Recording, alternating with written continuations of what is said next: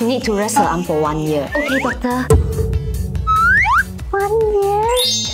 Go finish your homework now. But mom, doctor said I need to rest my hand. Hmm. It's fine. Sister, go help Xiaoyi finish her homework. Mom! Run! Oh. Mom, I'm hungry! Here. Can you feed me? You have hands. But I only have one hand. Alright.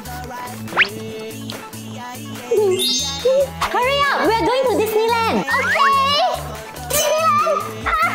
Ready, mom? But you're not going with us. Oh, why, mom? You need to rest your arm. You cannot hug Mickey Mouse if you haven't recovered. Bye!